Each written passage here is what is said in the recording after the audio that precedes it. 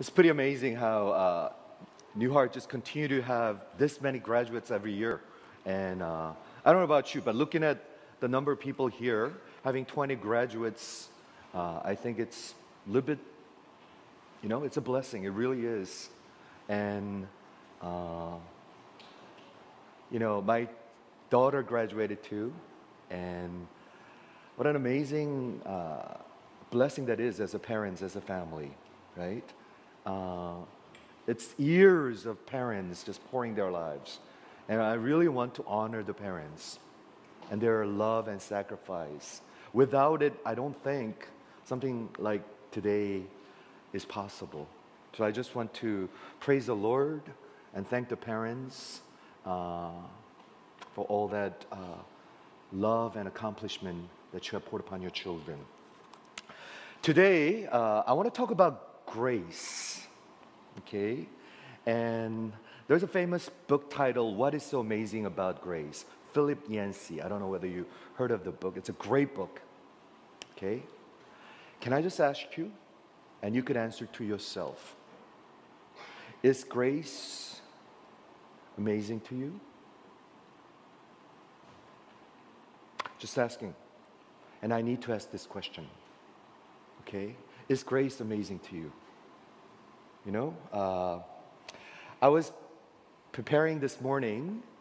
I came across and I remember this old song, great song. And I put it on Kakao for Next Gen Ministry, so you can listen to it after, after the service. Okay, let me just read it to you. See what uh, this author is saying. Why have you chosen me out of millions? It's pretty much billions now. Why have you chosen me out of millions? Your child to be. You know all the wrongs that I have done. Oh, how could you pardon me, forgive my iniquities? To save me, give Jesus your son. See where he is, right? Okay, and the chorus part, this is the second verse. But Lord, help me.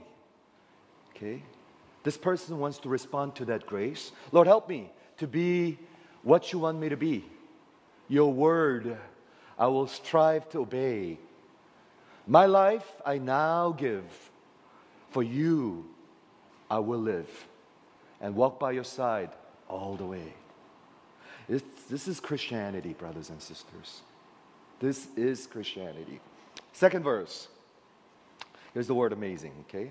I'm amazed to know that God so great could love me so. We talked about God last night in Next Gen Ministry. That great God loved me so, right? Remember that adverb? So He's willing and wanting to bless. His love is so wonderful, His mercy so bountiful. I can understand. I confess. I can never understand. Okay? I don't know. I, I, I, remember this song. I Googled it. I love Google. And then it pops right up. And then I got the lyrics. It's a great song, okay? Why have you chosen me out of billions? Can I talk about choosing of God? In your choosing of friends, in our choosing of a acquaintance, someone that you want to do something, how do you choose? Right? How do we choose? Normally, we choose whatever is to my taste, what I desire, what is beneficial to me, what is cool, basically. That's how we choose, right? But God's choosing is a little unconventional if you, if you think about it, to say the least. Out of million years, million people, billion people, God chooses. Today we're going to talk about Saul, okay? Very significant story. In the Bible period, uh, definitely in the book of Acts. Okay? We talked about chapter 8, we talked about chapter 10. I intentionally left chapter 9 out so that I could talk about it today, actually, after thinking about before and after. What follows after, what, what, what comes before. Today we want to talk about story of a one person. Right? God choosing him out of millions.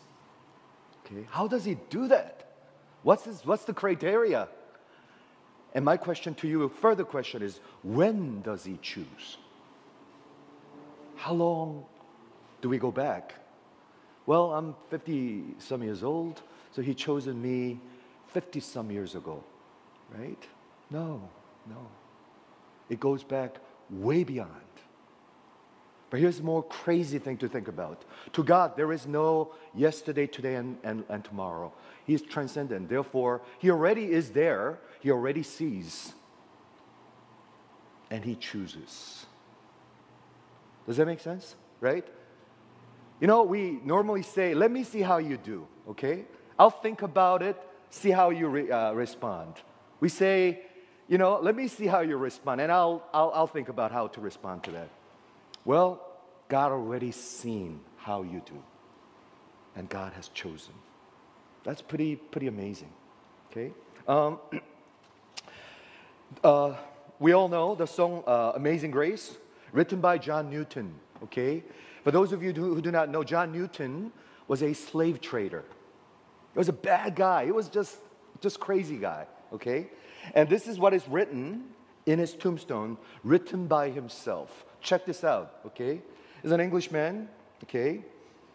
John Newton, he wrote a clerk, once an infidel and libertine, comma, a servant of slaves, slavers in Africa, was by the rich mercy of the Lord and Savior Jesus Christ preserved, restored, pardoned, and appointed to preach the faith that he had long labor to destroy. That's written, that's the epitaph that's written on his tombstone. Isn't that great? Right? John Newton, a clerk. I'm not that important person, and I was an infidel, right? I wasn't even a believer, right? I was, in fact, someone who opposes it and libertine. He lived a wild life. Once he was a slave trader, but if you read his bi- biography, he becomes a slave himself. I don't know how it ha- happened. 16th century, 17th century, right? He became a slave himself in a ship and basically live as a slave.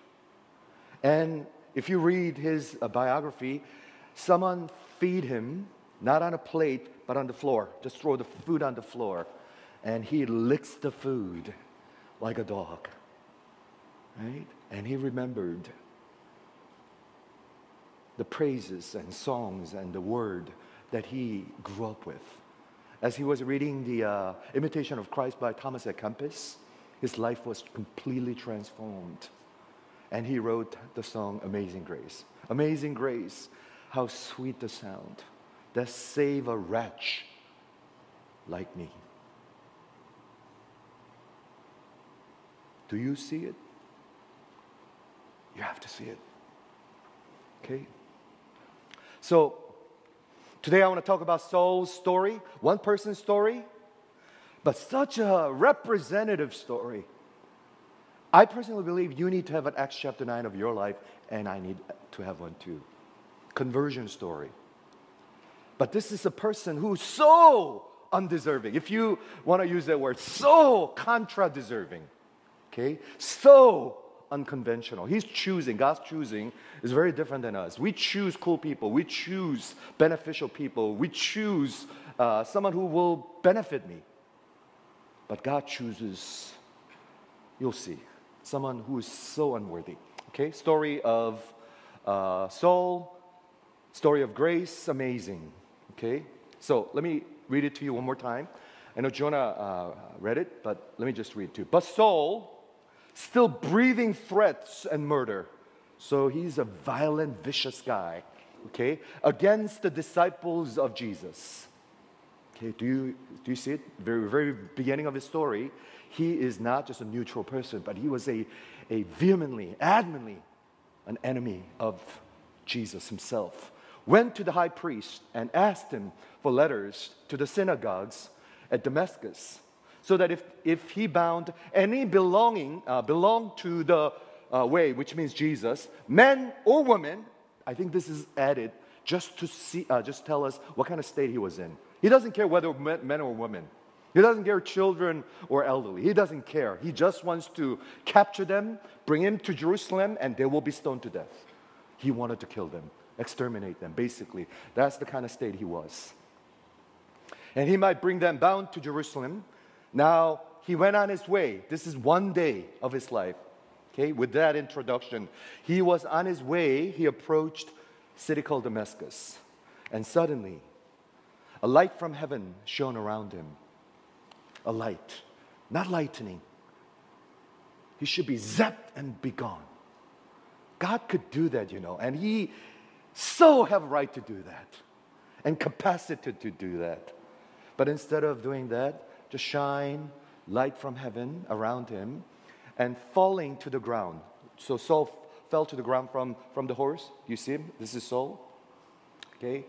And he heard a voice saying to him, This is Jesus saying, Saul, Saul, why are you persecuting me?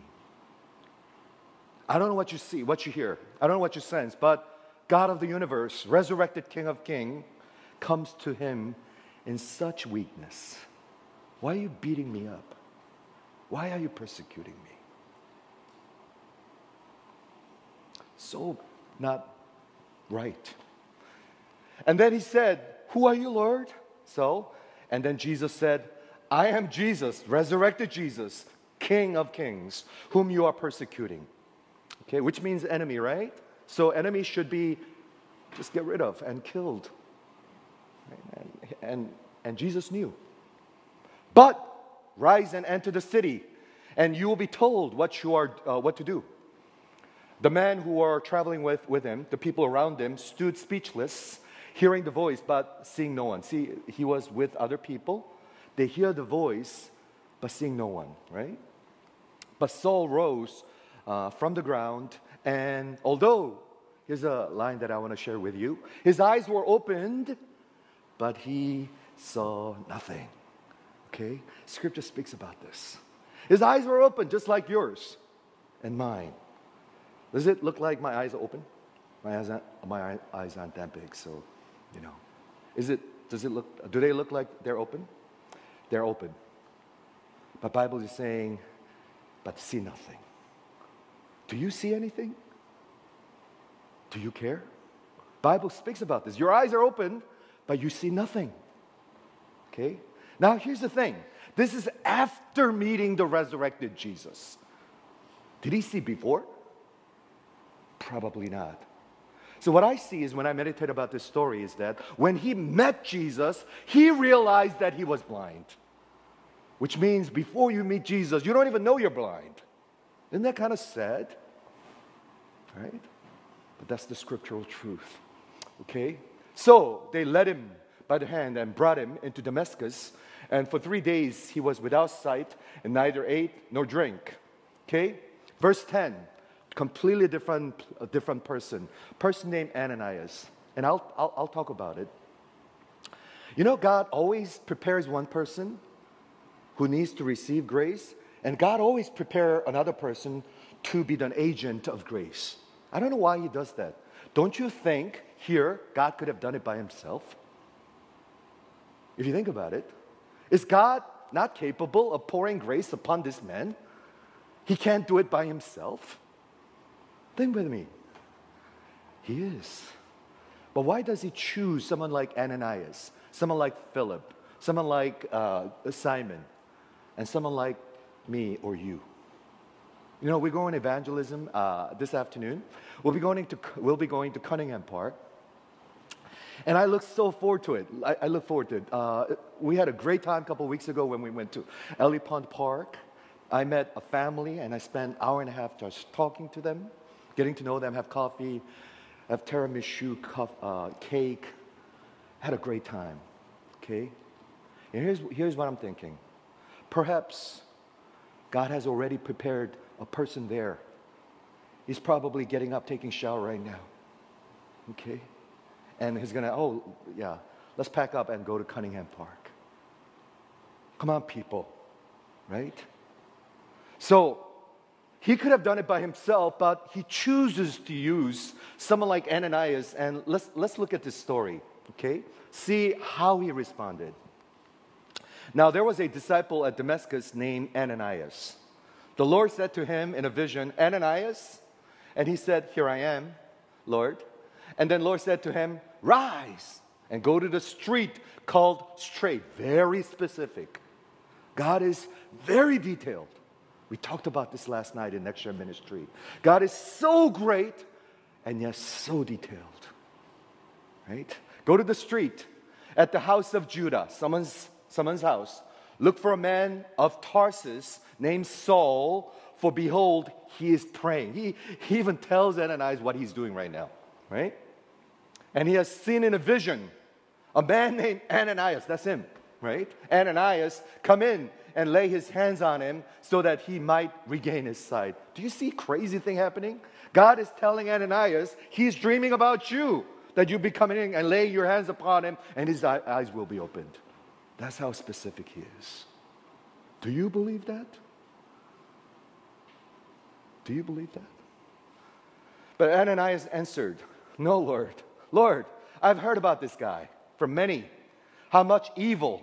He's an evil guy. You know, he has done to your people at Jerusalem.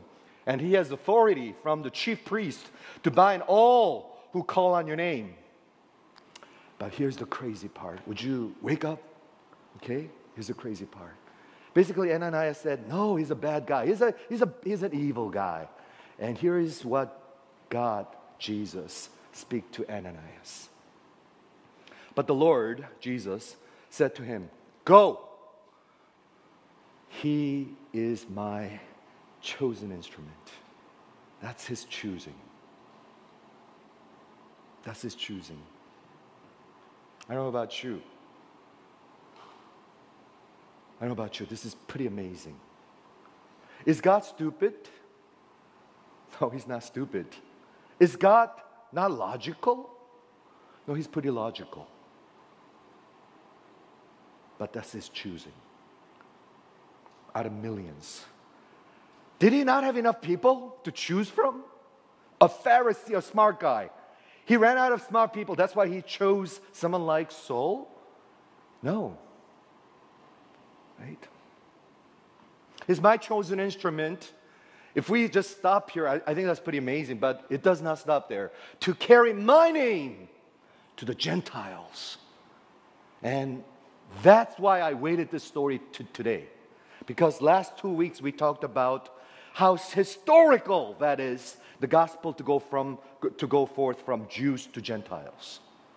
And God chose this man for that historic moment of Christian history. Do you hear it? I don't know what your passion and goal is after the graduation. Seriously. I don't know what your goal is. You go to medical school, law school, uh, you know, business school, whatever. I don't know what your passion is. But the greatest thing, I could state it right now, I state it right now. If God is real, is to be used by Him for his eternal purpose. Otherwise, your, your life is pretty much wasted. That's pretty much what it is. Okay? To the Gentiles and kings and children of Israel, for I will show him how much he must suffer for the sake of my name. Okay? I love this story. Okay? So, what does Ananias do? Ananias obey right away. He departed and entered the house and laying his hands on him and said, Brother Saul, that blesses my heart. Can I just ask you, is Saul his brother already? No, no. Think with me.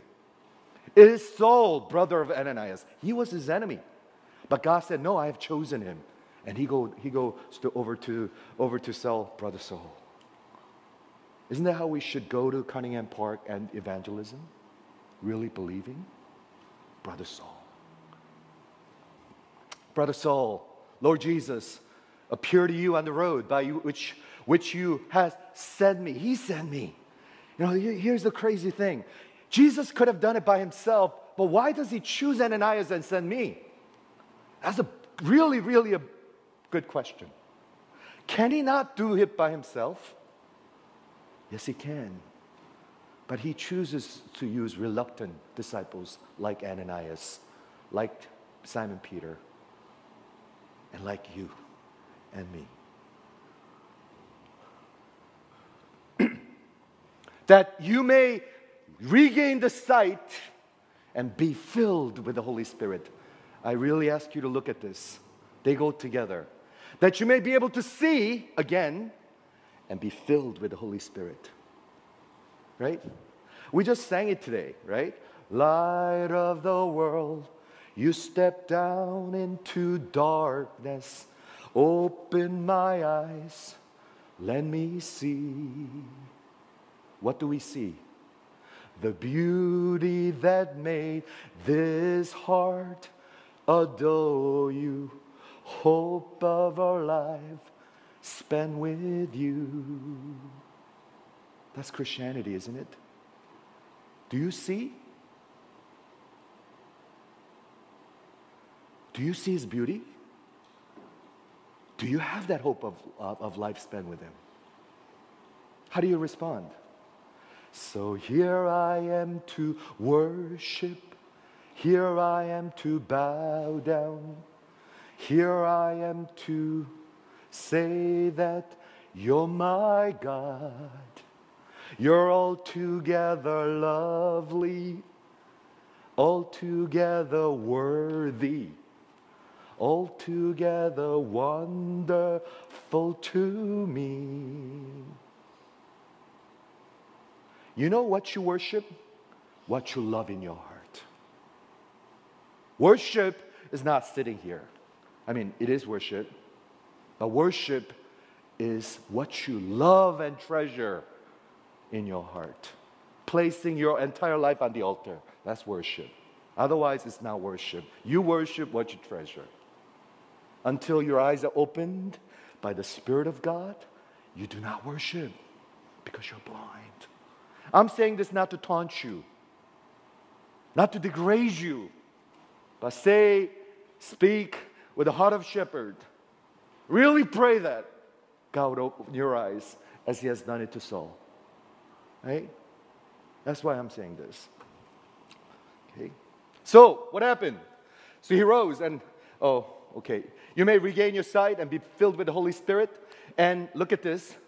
It's, I think it's very intentional. Immediately, Immediately, not 10 years later, like some of you believe, right? Immediately, something like scales fell off from his eyes and he regained his sight. He rose and he was baptized. In other words, right away he had identified with Christians, right? And taking food, he was strengthened.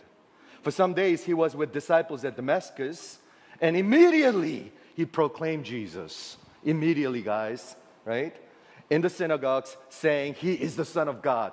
You know what he's doing? He go to the synagogue and tell Jesus is, is Son of God. That means kill me, stone me. That's exactly what he was doing a day ago, three days ago. Now he's going to the synagogues and telling the Jews, right? Jesus is the Son of God, meaning he's ready to die. He identified with Christians. When your eyes are opened, you will identify with Christ. Until then, all kinds of coward answers, I think. Coward. Right? And all who heard him were amazed, is the word, amazed. Said, Is not this man who made havoc in Jerusalem and uh, of those who are called upon the name? And has, has he not come here for the purpose and bringing the bound, bring them bound before the chief priest? But Saul increased all the more in strength and confounded the Jews who lived in Damascus, proving that Jesus is the Messiah. I love this story. Acts 9. And today I want to really ask you Has Act 9 happened in your life? No, seriously, I really mean it. Let's not put around. I think we do that too much. Has Act 9 story happened in your life? I really want to ask that question. Okay, just one more page. When many days has passed, Jews wanted to kill him. Okay, but their plot became known to Saul. They were watching the gates, uh, uh gate day and night in order to kill him. But disciples took him by the night and let him down through the opening in the wall, lowering him in a basket. You know, you learned it in Sunday school. What about the disciples? And when he, uh, when Saul come to Jerusalem, he attempted to join the disciples, Christians, and they were afraid of him, for they did not believe that he was a disciple. But here's a, a, another very important name Barnabas. Remember last week? Acts chapter 11, it was Barnabas who brought Saul to church. Again, it was Barnabas. Barnabas took him and brought him to the apostles and declared to them how on the road he had seen the Lord and spoke to them, how at Damascus he had preached boldly in the name of Jesus. So he went and in and out among them at Jerusalem, preaching boldly in the name of the Lord. And he spoke and disputed against the Hellenists, but they were seeking to kill him. And when the brothers learned this, they brought him down to Caesarea and sent him off to Tarsus. So he went to his own, his own hometown. hometown. And the end of this uh, account. So the church throughout all Judea, Galilee, and Samaria had peace and was being built up, walking in the fear of the Lord and in the comfort of the Holy Spirit, it multiplied. Okay, that's the story. Saul, one person, one person. Please, don't check out right now. We're talking about you right now. We're talking about right now. God's choosing, and can I just ask you, what happens if He doesn't choose you? What happens? Does it matter? It definitely matters. So I want you to listen. Okay? Saul, what kind of man was he? He grew up in Tarsus, Tarsus near Antioch, uh, current Syria. He was a Hellenistic immigrant diaspora Jew. Second, third generation Jewish person living in Syria or Turkey. And he was a Roman citizen, okay? He had Roman citizen, like US citizen. Probably his father was rich, right? Influential. And he grew up in a Hellenistic culture and education, meaning he had the best, best education. Probably American education comparable, comparable to. And then he came to Jerusalem. He was educated in Jerusalem as a Jew, studied the law and the Old Testament under a teacher named Gamaliel. That's Harvard uh, education. To be a Pharisee. Okay? So if you put those two together, he was pretty much the top of the tops. Right? He was the top of the tops. He has, he has a Hellenistic educational and cultural background, American teaching, let's say. And then he went to Jerusalem. He studied the law, studied the Old Testament to be a Pharisee under Gamaliel. So he had everything, right? So he was really passionate about God and Jewish religion, right? Acts, uh, Acts uh, chapter 7, when Stephen was being persecuted, stoned to death, you know, remember what he was doing? He was the Pharisee.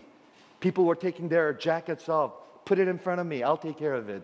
That was Saul. Pretty, uh, pretty embarrassing picture, right? Acts chapter 8, great persecution broke out from the city of Jerusalem, and this person was the mastermind and he was the ringleader. He's the guy who brought, fanned the flame of the persecution. And I, I think about this.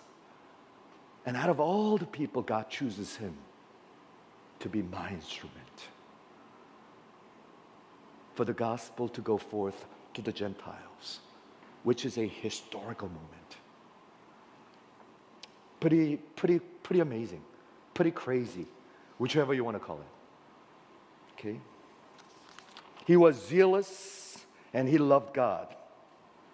Can I just uh, just uh, just go back and kind of have a review of uh, Acts? Acts chapter seven, a story of Stephen being killed, and Saul shows up. Acts chapter eight, people as people were scattered, one of the deacons named Philip meets an African. Do you remember that? African shows up in Acts chapter 8. Ethiopian eunuch. Do you remember? It was both Holy Spirit who worked on both of them so they will have an encounter. The, the deacon, Philip, and Ethiopian eunuch. Chapter 9, which is next chapter, it was Saul and Ananias. Chapter 10 is Cornelius. He's a white person, he's an Italian centurion, and Simon. Now, picture with me.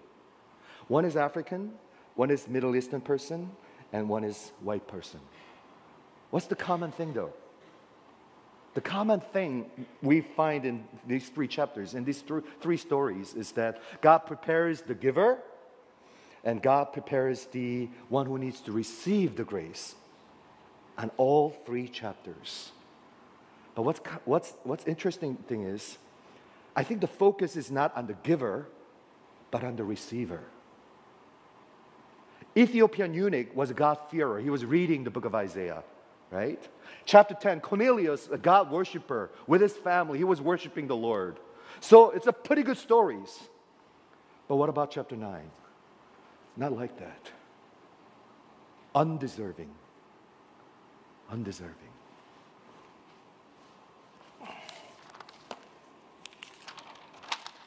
I just want to give you a few thoughts. Okay? Saul was a hater of Jesus. Please listen to me, okay? Because this is Christianity. He was a hater of Jesus. He wanted to kill anybody who followed Jesus, right? Vehemently, passionately hated Jesus and his followers. And yet, God has chosen him. And I'm continue to ask you to think about God's choosing. Okay? Saul, who was passionate seeker of God, it's not that he was a atheist. He was really, really passionate seeker of Old Testament God, right? Messiah. Yet he was blind. Do you see it? Who did not know he was, he, he was blind. Do you know you're blind? If you have not met Jesus resurrected, Bible declares that you're blind. Perhaps you know you're blind, and then there is a chance that you do not know you're blind. I am not taunting you, please. I'm not. But I'm just stating this very important biblical truth. However, Jesus showed up and he realized his eyes were open, but he saw nothing. Jesus, light of the world, stepped down into darkness, opened my eyes, and let me see. What did he see? The beauty of his mercy, beauty of his grace. Isn't that what he saw? For the rest of his life and the rest of the book of Acts. Isn't that what he saw? Isn't that what he talked about?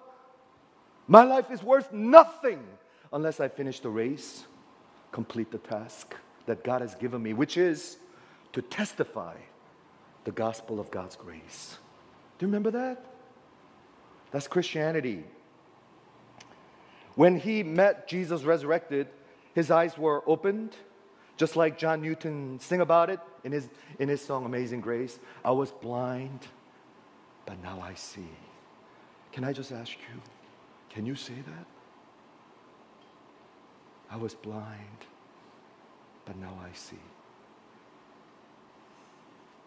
Second thought is that Saul's story, as we talked about, unlike chapter 8, unlike chapter 10, okay, he really doesn't deserve it. It's the story of a pretty bad sinner saved by grace, and I would say grace alone.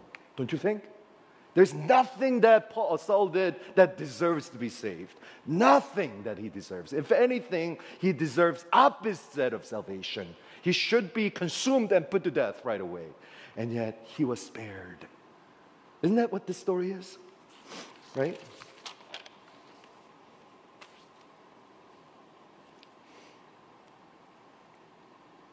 And Ananias didn't want to say, uh, didn't want to go to him, and it was a logical response. Lord, he's a bad guy. He's killing all the Christians. Why should I go to him? You are greatly mistaken, Lord. Is God? Was God making mistake? Does he ever make a mistake? Is my question to you. Do you want to be chosen by God? Or does it matter to you? Stay with me. I know it's hot. Okay, stay with me. Come on, people. Stay with me. Does it matter to you whether you are chosen, to, chosen by God or not? I hope it matters to you. more than anything, right? And then God says something that really sound like God. He said, "Go." And Ananias, sh- shut up, go. Right? For he is my chosen instrument. And I think about this. Can I just ask you, when did he choose him? I know I mentioned it. When did he choose him? 10 years ago? 15 years ago? 30 years ago? Long time ago. What did God see in Saul? Bad guy, right? Because he sees the future. In fact, to him, present and future is same thing. He's transcendent God.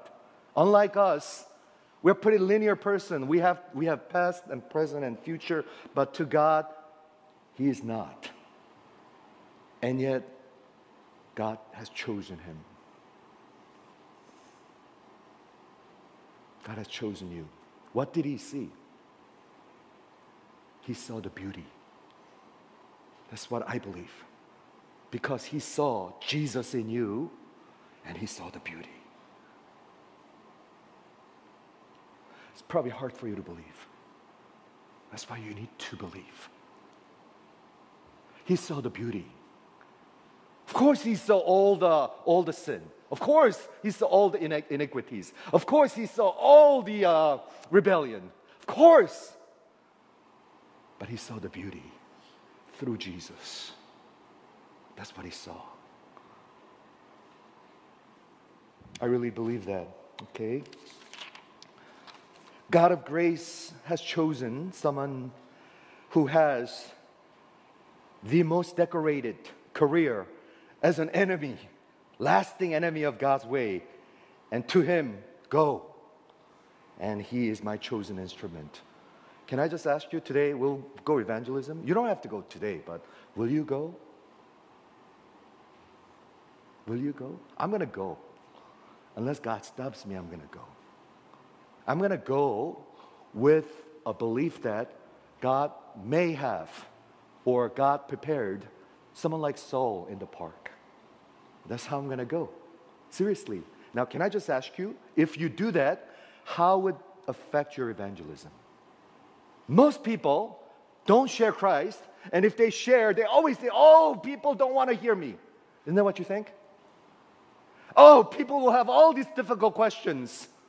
So I won't be able to answer. We're living in a, such a, you know, uh, uh, pluralistic society, so we can't really push Christianity. That's what you're thinking. What about what the scripture is saying? No, God has prepared someone for you to go and just open so that they, their eyes may be opened as they be filled with the Holy Spirit. Is that a possibility? You better believe it. You better believe it. Okay? Lastly, what sounds so much like to carry on a mission for the king, right? Ananias carry on a mission, a message, right? To an enemy of Christ. What do you call them? Ambassador. Ambassador. That's what the calling is to be an ambassadors for Christ with a message of reconciliation. I think conversion of Saul of Tarsus, Saul who was the archenemy, to become the ambassadors to Gentiles. That's the grace of God, people. That's the grace of God. And I pray that you would understand it.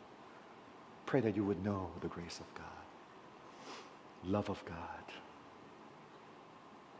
He's different than us. Aren't you glad?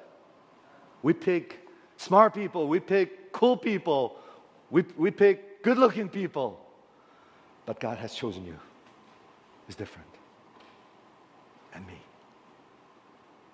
And to me, there's nothing greater than that.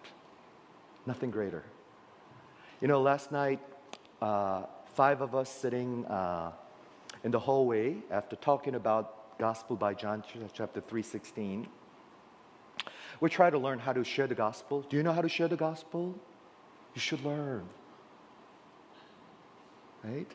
and we were talking about God. And one of the questions we raised is what does life look like in your age, in your peers? What does life look like without God? Can you think about that? Your peers, your friends, what does life look like without God's presence? Among other important things, one sister shared, which really blessed my heart. She's a young, young sister working, and she said, It's like a life swimming in the sea, but there is no end. Isn't that what it looked like? I'm talking about your peers. Whether you're in your 20s or 30s or teens, doesn't matter. Life without God is like you're swimming in the sea and there is no end. It's dead end. Why have you chosen me out of millions? Why have you pardoned me? Why have you given me a heart to carry out your work? Let's pray.